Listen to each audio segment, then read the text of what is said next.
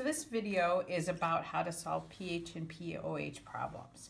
Big idea with this is pH plus pOH equals 14 and pH is a log scale. This is similar to like a Richter scale. So an earthquake of magnitude 7 um, is 10 times greater than an earthquake of magnitude 6 because it's a log scale. The same basic concept is with pH. So here, um, a change in pH of 1 is actually a change in a factor of 10. So to go from here, a pH of 3 to a pH of 5. So to go from 3, I go to 4, and then 4 to 5. So this is a factor of 10, and this is a factor of 10. So pH of 3 is not 2 more acidic, it is 10 times 10. It's a 100 times more acidic than the pH of 5. So some sample problems on the bottom of the page here. So first, this one, the hydrogen ion concentration, I could rewrite this as 1 times 10 to the minus 4 molarity, which tells me that power of the hydrogen ion is 4. So the pH is 4, so the pOH then is 10. pH less than 7 tells me it is acidic, or an acid. And then how many times more acidic or basic is this than neutrality? So I have to know neutrality is 7.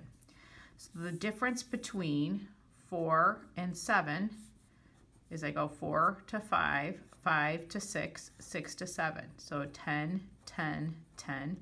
10 times 10 times 10. This is a thousand times more acidic than neutrality.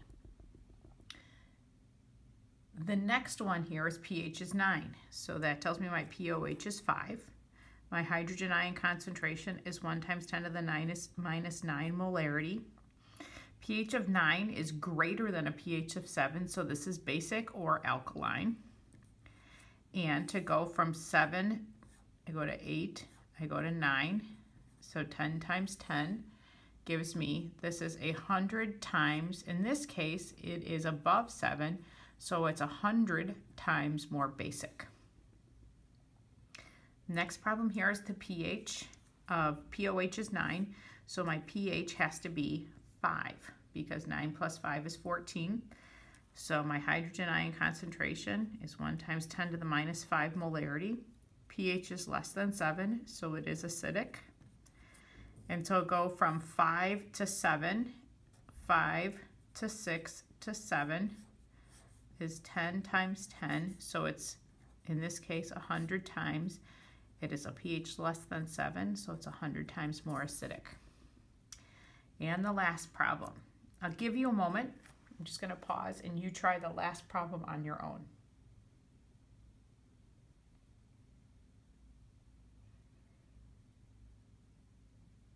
If you need more time, just pause the video. Otherwise, I'm going to go through it now. The pH is 1. The pOH is going to be 13 because 1 plus 13 is 14. Hydrogen ion concentration is 1 times 10 to the minus 1 molarity, or that would be 0.1 molarity. This pH is less than 7, so it is acidic. So now neutrality is 7. So I go 6, 5, 4, 3, 2, 1. So this is 1, 2, 3, four, five, six. So I have 10, 1, 2, 3, 4, 5, 6.